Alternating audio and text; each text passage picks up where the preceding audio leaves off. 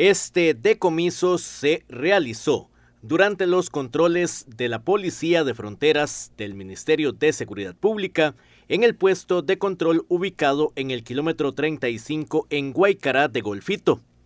En ese punto de la carretera interamericana se detuvo un vehículo para realizar una revisión con un perro especializado en drogas, el cual arrojó negativo sobre algún indicio de que transportaran estupefacientes.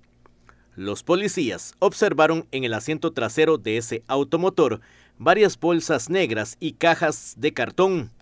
Al consultarle al conductor que transportaba, este indicó que realizó varias compras en Paso Canoas del lado panameño.